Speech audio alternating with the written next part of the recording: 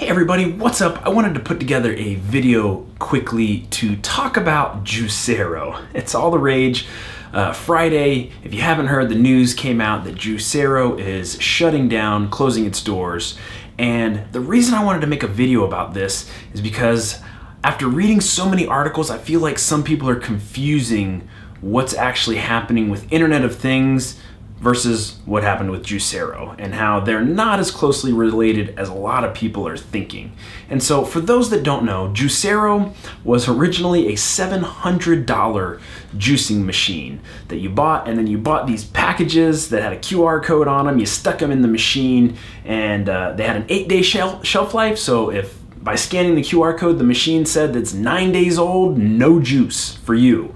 And so uh, that's how it worked. And then it would use its unprecedented four tons of squeezing power to give you juice. Um, and so uh, the machine eventually went down to $400. And uh, finally, they've decided that there's just not enough of a market for that.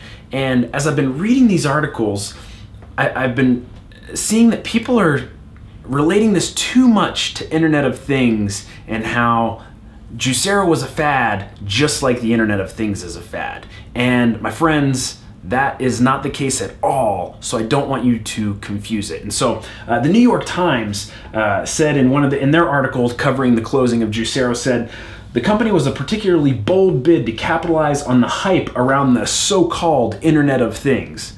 There's nothing so-called about the Internet of Things. New York Times. The Internet of Things is a real thing that is not going away and is coming and is going to take over and consume everything, just like software has.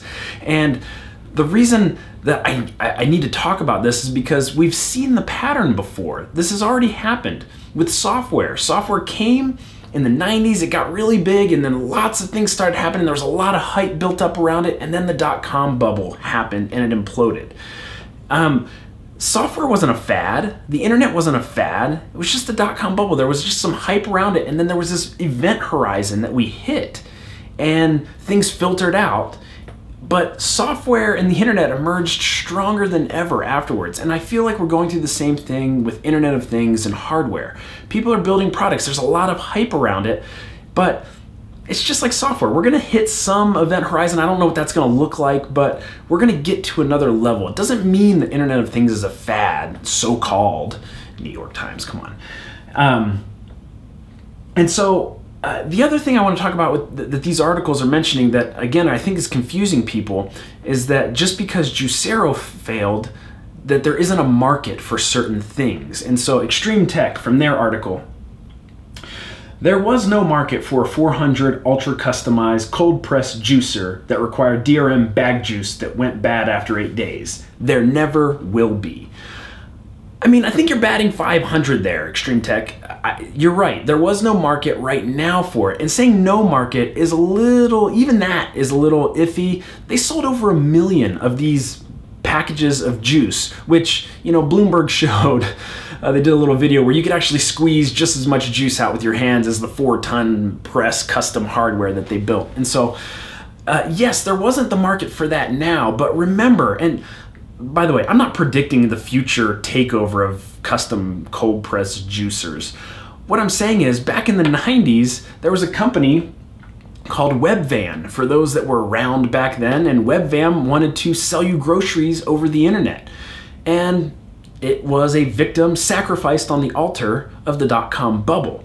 Doesn't mean that there was never going to be a market for people buying groceries online or having groceries delivered to their home. I mean, you, you see what I'm saying here?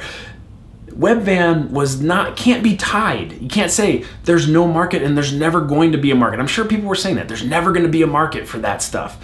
People back in the 90s were literally saying, "I will never put my credit card number in on a website." The internet's a fad and there's no way I'm putting my credit card number in on the internet. site. Now we just we click save for future purchases because we don't want to take the hassle of typing it in again.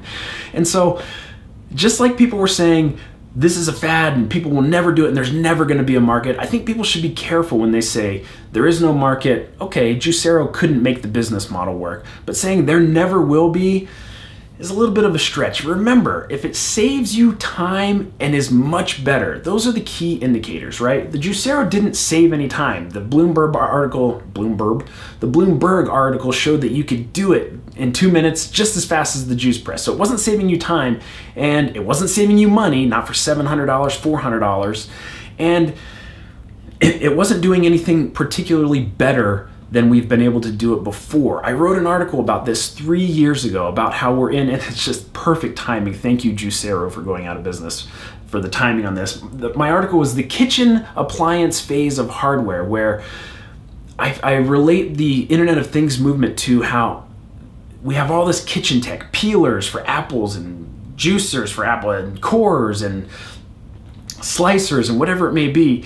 But none of it fundamentally changes the way that we consume an apple. But you could spend all this money. Hardware is going through the same thing. We're going through the trajectory that software went through where we are figuring it out. We are going through the process of finding out what's useful. How do we make it faster? How do we make it cheaper? How do we make it better and save people time? And there's going to be a lot of companies that come and go through that.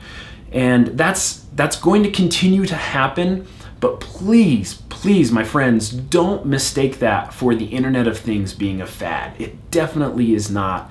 The wave is coming, already taking over many things, and is here to stay. So please do not confuse Juicero not being able to make their business model work with the Internet of Things being a fad. It definitely is not. And it's definitely here to stay.